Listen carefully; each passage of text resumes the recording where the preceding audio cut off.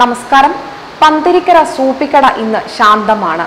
ഒരു വർഷം മുൻപ് മെയ് അഞ്ചിനാണ് അപ്രതീക്ഷിതമായി എത്തിയ നിപ രോഗത്തിന് മുമ്പിൽ ഈ നാട് വിറങ്ങലിച്ചു നിന്നത്.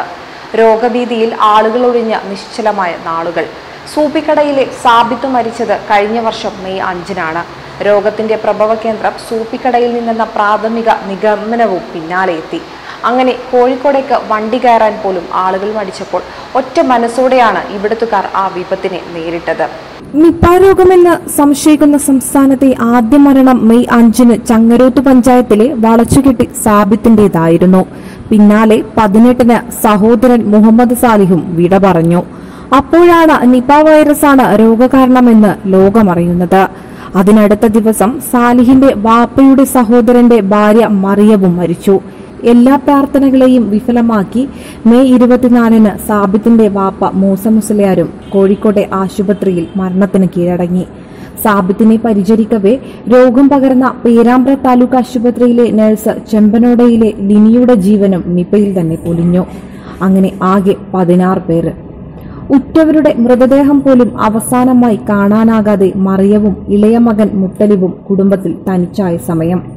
പന്തിരിക്കരയ്ക്ക് സമീപം ആവടുക്കയിലെ ബന്ധുവീട്ടിലേക്ക് തൽക്കാലത്തേക്ക് താമസം മാറിയ അവർ ദുരന്ത വാർത്ത ഒന്നൊന്നായി അറിയുകയായിരുന്നു. ഒരു വർഷം പിന്നിടുമ്പോൾ സൂപ്പിക്കടയ്ക്ക് അല്പമകലെ മദ്രസ സ്റ്റോപ്പിന് സമീപം കുയ്യണ്ടം പുത്തനിടത്തിൽ പുതുതായി വാങ്ങിച്ച വീട്ടിലാണ് മറിയവും മുത്തലിബും. മറിയത്തിന്റെ ഉമ്മ ഫാത്തിമയുമുണ്ട് കൂടെ. നാലു മക്കളായിരുന്നു മറിയത്തിന്. ഒരു മകൻ മുഹമ്മദ് സാലി രണ്ടായിരത്തി പതിമൂന്നിൽ വാഹനാപകടത്തിൽ മരണപ്പെട്ടു. പുതിയ വീട്ടിൽ ഒരു ദിവസം പോലും താമസിക്കാനാകാതെയാണ് മക്കൾ പോയത്. എല്ലാവരെയും അടുത്തുനിന്ന് പരിചരിച്ചതാണ് ഞാൻ. എന്നെ മാത്രം രോഗമൊന്നും ചെയ്തില്ല.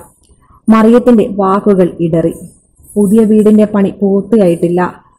അത്യാവശ്യ കാര്യങ്ങൾ തീർത്ത് കഴിഞ്ഞ വർഷം നോമ്പ് കഴിഞ്ഞ് ഇങ്ങോട്ടേക്ക് താമസം മാറിയതാണ്.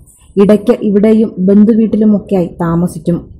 മുത്തലിബ് പേരാമ്പ്ര ജബലന്നൂർ കോളേജിൽ ബി എ രണ്ടാം വർഷ വിദ്യാർത്ഥിനിയാണ്. മൂസയുടെയും സാലിഹിന്റെയും മരണത്തിൽ സർക്കാർ പ്രഖ്യാപിച്ച സഹായധനവും ഇവർക്ക് ലഭിച്ചു.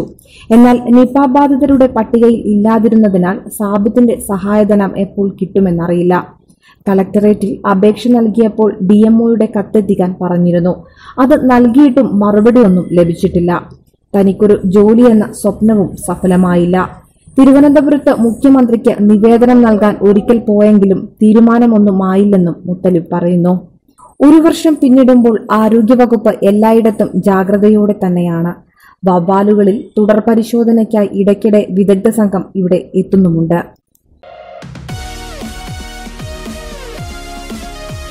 വാർത്തകൾ ഉടനടി അറിയാൻ top news Kerala YouTube channel subscribe ചെയ്ത് ബെല്ലൈക്കണമർത്തി ലൈക്ക് ചെയ്ത് ഷെയർ ചെയ്യുക.